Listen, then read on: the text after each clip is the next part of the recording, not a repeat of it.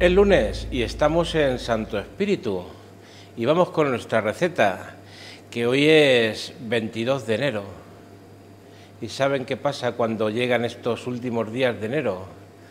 Pues que son las fiestas de mi pueblo, la Virgen de la Paz. Ya pudieron ver mi pueblo a lo lejos en el, en el vídeo ese cortito que ponemos los jueves para, para anunciar el vídeo del lunes. Bueno, pues vamos a hacer una comida de medio fiesta, medio fiesta. Les voy a hacer unos escalopes de cerdo, es decir, unos filetes rebozados de cerdo en salsa. Es decir, tenemos que hacer unos escalopes, es decir, unos filetes de, carne, eh, enharinarlos con harina y huevo, freírlos y luego añadirles una salsa para que cocinen en esa salsa. La verdad es que es un plato sencillo, austero, pero muy resultón, porque la carne queda muy jugosa y la salsa pues acompaña mucho el plato y si luego al lado le ponemos unas patatitas o algo, queda un plato casi casi de fiesta. Miren los ingredientes. Aquí tengo la carne, tengo un pedazo de lo que se llama la aguja del cerdo, es decir, esa parte de carne que tiene en el cuello el cerdo, por encima del lomo. Para hacer la salsa, lo habitual, cebolla, pimiento, tomate, apio y zanahoria. Y para aromatizar la salsa y la carne, claro, pues tenemos aquí pimienta, comino molido, unas, unas guindillas de esas que me trajeron de México, chiquititas, pero peleonas, ajo y perejil picado. Y para el jugo de la salsa, el vino que tengo aquí, como un vaso de vino, y un poco de, caldo de, pollo, de, lo que te sobra de las sopas, de los caldos que haces para la sopa y demás. Se podría añadir agua también tranquilamente, pero bueno, tenía este caldo, pues para adelante. Vamos con nuestra faena, que la primera es cortar la carne. No quise presentársela ya cortada para que conozcan este trozo, esta parte del, del cerdo, porque es bueno conocer el despiece de los animales y el nombre de cada parte y conocer mm, cuáles son las características de cada parte de, la carne, del cerdo, de la res o de cualquier animal, porque luego a la hora de cocinarlo, pues nos viene muy bien conocer las características de cada trozo de carne. Este ya digo que es el trozo de carne que está encima de, del lomo. El lomo es la espalda del cerdo, la espalda, cuando termina la espalda, lo que es el cuello del cerdo, es este trozo que es lo que se llama la aguja. En otro sitio también le llaman cabezada o, el morrillo, también lo llaman en algunos sitios. Bien, pero yo creo, creo que el nombre técnico por el que lo encontrarán en los centros comerciales es la carne de aguja. A poner este platito que está limpio aquí para poner los trocitos de, de carne. En, este, en, este, en esta parte acabaría el lomo. Le voy a cortar un trocito para que vean el corte. Ven, esto es las últimas piezas ya que serían del lomo del cerdo. Pero voy a cortar por el otro lado. Porque me interesa que vean ustedes cómo esta carne está compuesta por varios, varios músculos.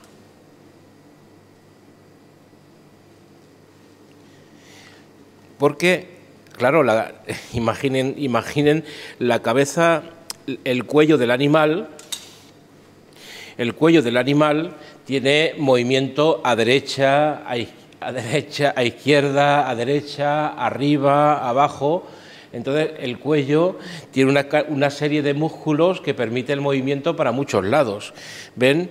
Tiene diversos músculos distintos, aquí estarían cortados a través, al, través, y ves, tiene varios músculos que bueno, todo eso, con todas estas estribaciones que tiene, pues de grasa y demás, hacen que esta carne, en mi opinión, sea una de las carnes más, más sabrosas, más jugosas y yo creo que más apetecibles de todo el cerdo.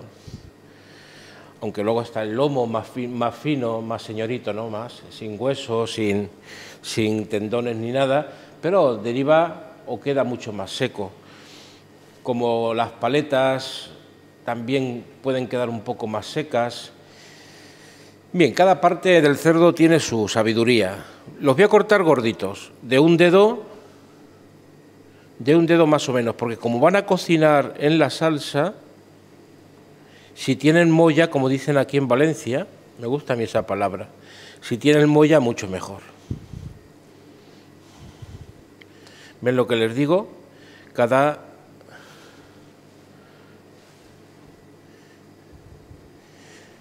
Bien, pues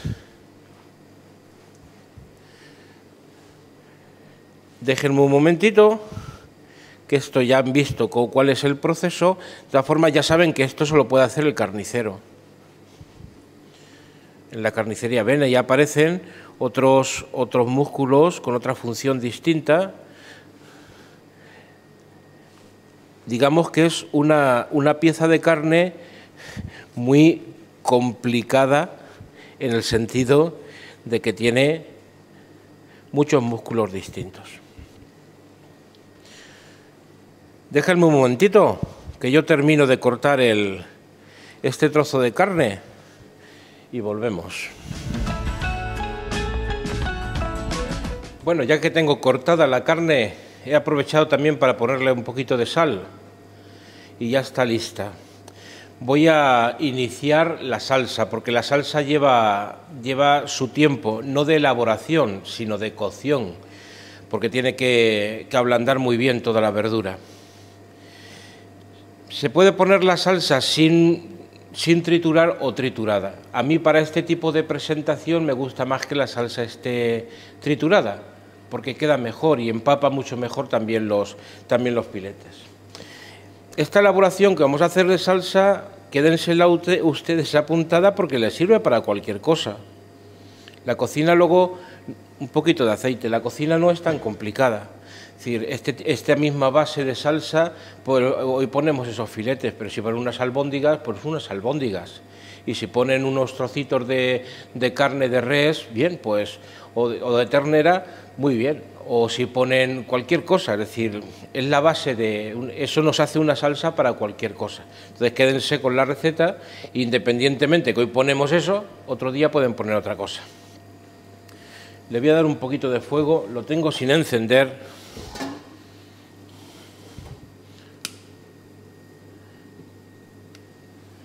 Ya está. Han visto que aquí al lado tengo la sartén donde yo hago las frituras, porque la carne la empanaré con harina y huevo, la freiré ahí y esa es la carne que luego irá acompañada con la salsa o cocinada en la salsa. Ya está el fuego en marcha. Bien, pues el ritmo de esto es el de siempre. Vamos con las verduras. En un primer lugar, estas, la cebolla porque suelta más agua y el pimiento, pero bueno, en este caso podríamos haber echado todas a la vez. De caliente, que el fuego está fuerte.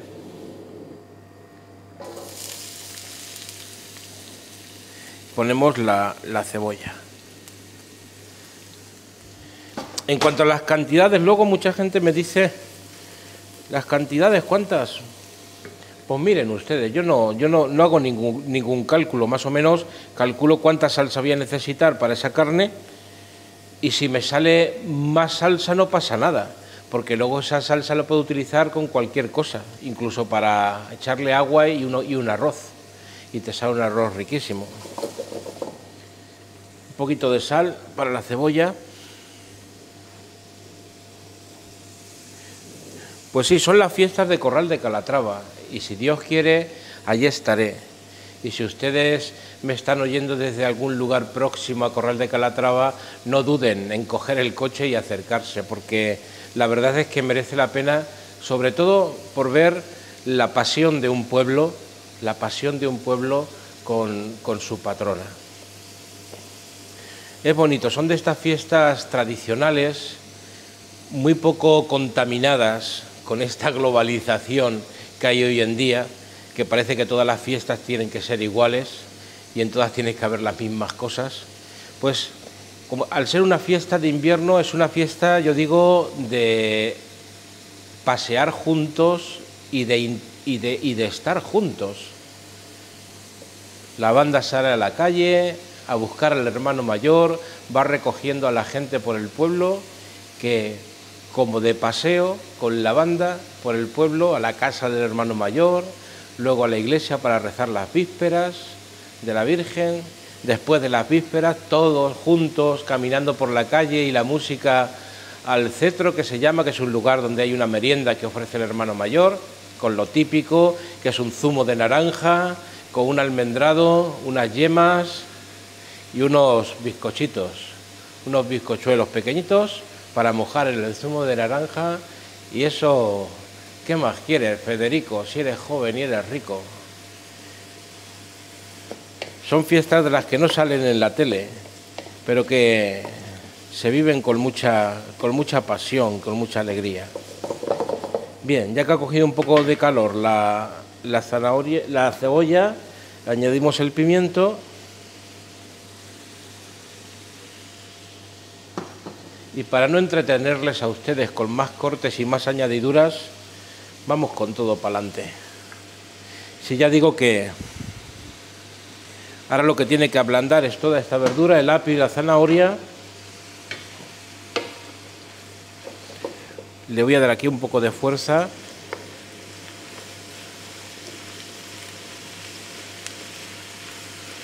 Y eso si el tomate como añade más agua lo dejaré un poquito para el final. Déjenme un momentito que esto coja brío y volvemos. Que aún me quedan muchas cosas que contarles de la fiesta del corral de Calatrava. Ya está esto un poco más ablandado y ya sí que puedo añadir el tomate.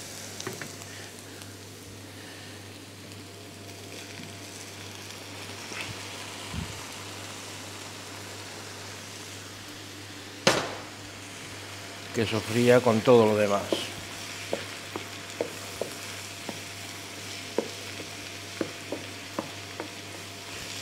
Ya digo que a veces estos platos que tienen salsa, cuando hacemos este plato, cuando hace un pollo en salsa, cualquier cosa, a veces qué pasa que cogemos las piezas de, de carne y al final nos sobra mucha salsa. Y a veces la tentación es decir, pues tirar la salsa. No, pues esa salsa está buena se guarda y esa salsa, en esa salsa puedes cocinar cualquier otra cosa o añadir cualquier otra cosa. Recuerdo que el otro día hice unas, bueno, el otro día no, para las navidades hice las carrilleras y me sobró la salsa de las carrilleras y en la misma salsa de las carrilleras eché unas albóndigas a los dos o tres días. Eché unas albóndigas y quedaron riquísimas. Hay que aprender a aprovechar las cosas en la cocina. Voy a apartar esa sartén un momento voy a poner esto aquí, que eso tiene su, su tiempo, y me voy a emplear con la carne.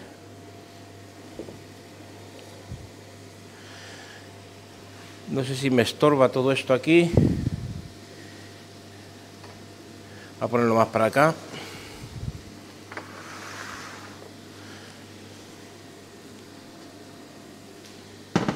Pues sí, las fiestas del corral tienen una de sus características, pienso yo, es precisamente eso, la convivencia de los, de de los habitantes del pueblo, que sin mayor pretensión pues nos juntamos para ir de un lado para otro con la banda por la calle y luego juntarnos para tomar algo, por la noche el baile, el cetro, las invitaciones, la gente de la misma edad se suelen juntar para ir a un sitio, para ir a otro. Bonito eso, cuando, cuando convivimos y nos llevamos bien y nos queremos, qué bonito, ¿verdad? Bien, pues tengo aquí los huevos que los he batido y la harina al revés.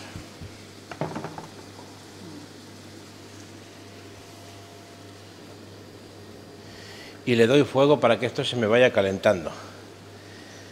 Vamos a cortar un momentito porque esto no se calienta en un suspiro, tarda un poquito. Volvemos.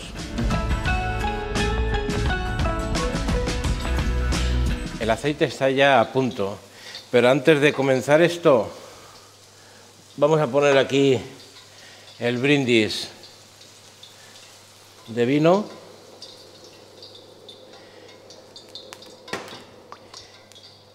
Y le voy a añadir ya el ajito como me gusta echarlo en crudo, que sabe que, da más sabor, lo voy a dejar aparte con, la, con el perejil. Y aquí voy a echar la pimienta, que ya está molida, el comino y las, las guindillitas estas que me trajeron de México, que son chiquitillas, pero matonas.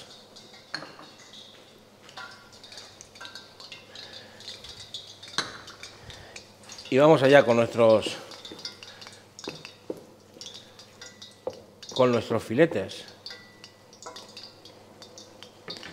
Normalmente cuando hacemos unos escalopes, eh, la carne va cortada muy finita, porque tiene que cocinarse con, simplemente con la fritura. Pero como aquí es la fritura y luego la cocción que le vamos a dar en la salsa, por eso me he permitido, digamos, el lujo de cortarlos un poco más, gruesos, para tener más, más molla que dicen aquí. Me gusta esa palabra de molla. Más molla para, para comer. Ya les saben que les puse la sal. Pues es tan fácil como ponerlos en harina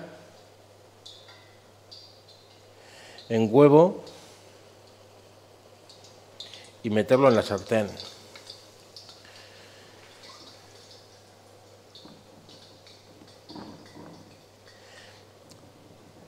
Van a, quedar muy jugositos. ¿Por qué? Porque ya saben que la costra que les produce el, el rebozado hace que la carne conserve todos los, todos los jugos un poco más de fuerza. Me cabe otro.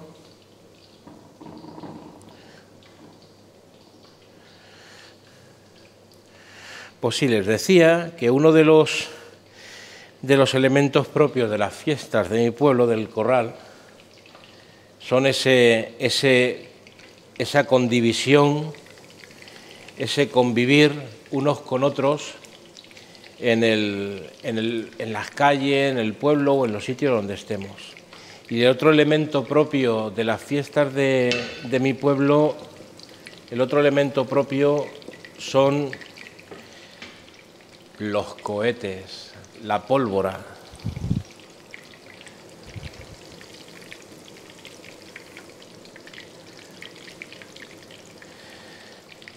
Cuando llega la Virgen a la plaza, bueno, el primer día también, con las vísperas ya hay un, anticipo, pero el momento grande es cuando el día 24 por la tarde, después de todo el recorrido de la procesión que hace la Virgen, visitando su pueblo, que es su pueblo, cuando llega a la plaza, los corraleños no tienen otra que tirar cohetes, pero uno detrás de otro, sin parar iluminando el cielo, haciéndose, haciendo estremecer los corazones y haciendo saltar las lágrimas.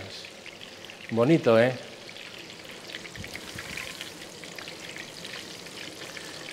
Déjenme que voy a coger unas pinzas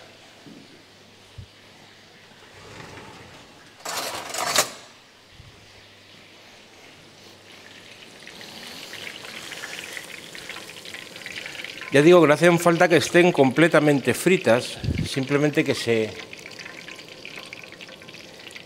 que se haga el rebozado,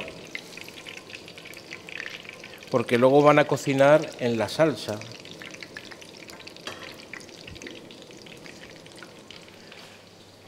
Vamos con otra tanda.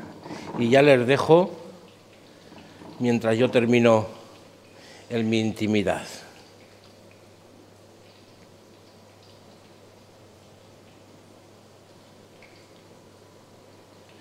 Pues sí, la Virgen lleva por nombre la Virgen de la Paz.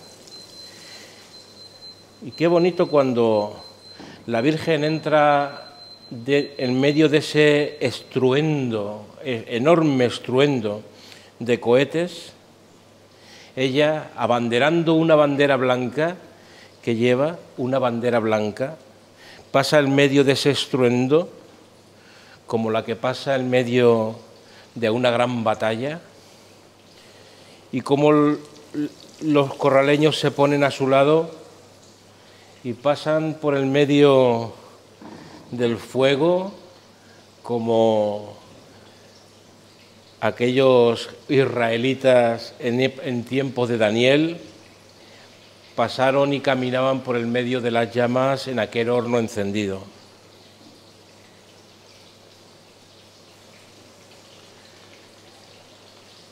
Ya les digo, si viven por allí cerca y pueden acercarse, se sorprenderán, como mínimo se sorprenderán. Déjenme que yo termine de freír toda la filete de carne y que se termine de cocinar la verdura de la salsa. Bueno, pues ya que está la carne, vamos a rematar la, la salsa, que ya ven que también toda la verdurita está bien ablandada. Ya tengo aquí machacados el ajo, que no me olvido ya de la, del dicho, ajo cocido, sabor perdido. Pues sí, a mí me gusta echar en este tipo de preparaciones, me gusta echar el ajo en crudo porque multiplica mucho su sabor, junto con el perejil. Y con un poquito de caldo para desleír.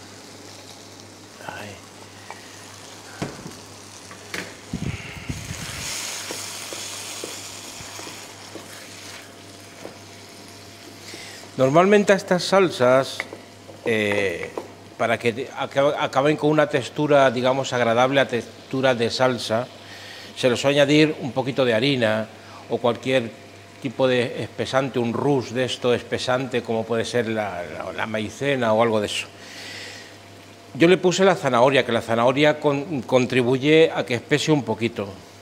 Pero luego va la harina del rebozado que también contribuye a espesar la salsa. Por eso no le he añadido nada de harina. Si veo que me queda la salsa muy líquida, siempre estamos a tiempo de diluir un poco de, maicena en, en un poquito de agua y echárselo. Voy a echar el caldo.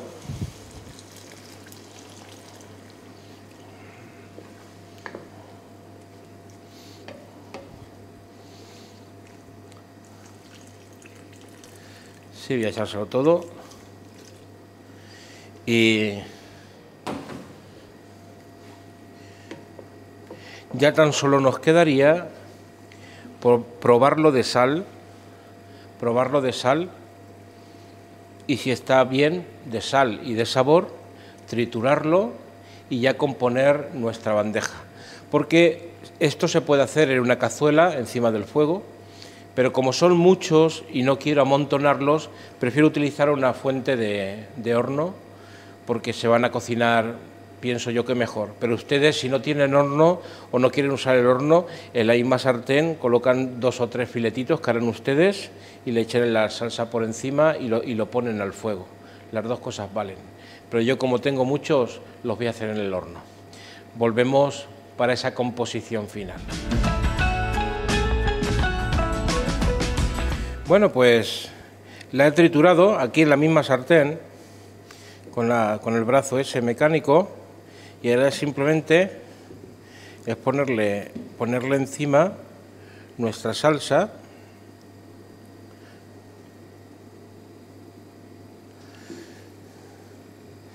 y lo llevaremos al, al horno, pues yo calculo que como una media hora o así. No porque tarde en cocinarse la media hora, sino porque primero se tiene que calentar.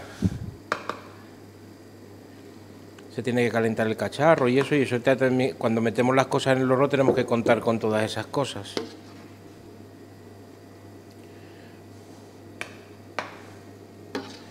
Y ahora este pequeñito que me ha quedado aquí. Ustedes no hagan tanto, que nosotros que somos mucha gente hoy, ustedes con un filete por con un filete por cabeza es suficiente, porque son gorditos.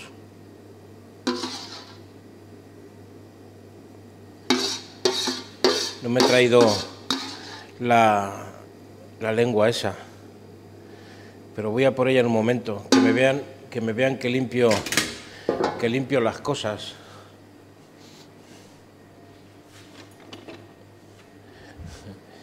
Si no, pues pueden pensar que me, que me quedo todo esto aquí.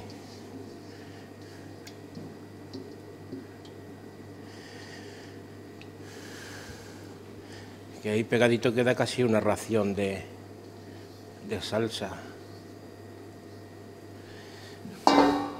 Bien, pues estas, estas bandejitas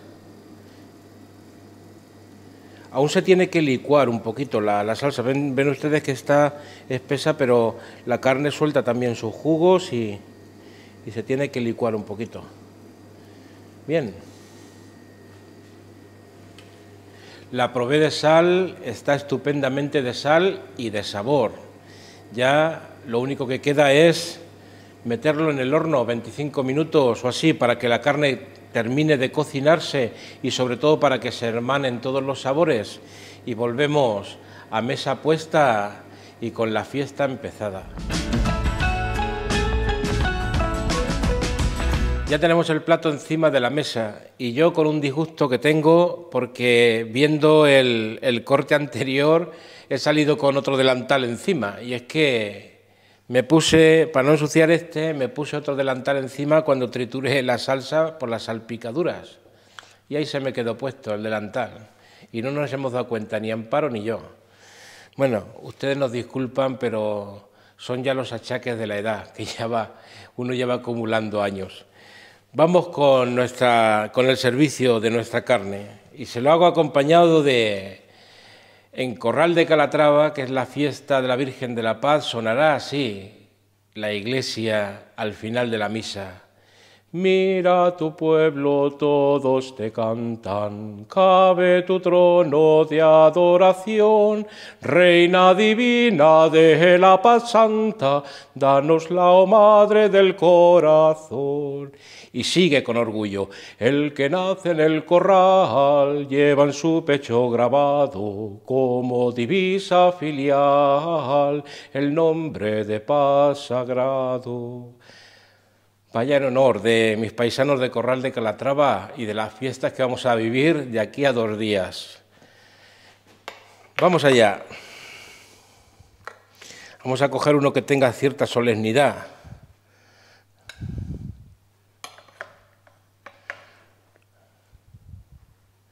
Y le ponemos un poquito de, de salsa. Y había cogido yo unas patatitas, he cocido unas patatitas para ponérselas al lado. Una, dos y tres.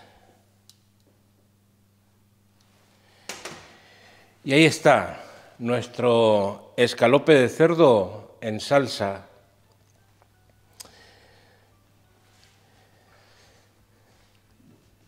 Una receta sencilla económica y muy resultona. Pues nos vemos el lunes próximo, que yo ya habré regresado de mi pueblo sin duda alguna con buen sabor de boca y con el corazón lleno de la, de la gracia que derrama la Virgen María allí donde está. Paz y bien nos vemos el lunes próximo. Que Dios les bendiga.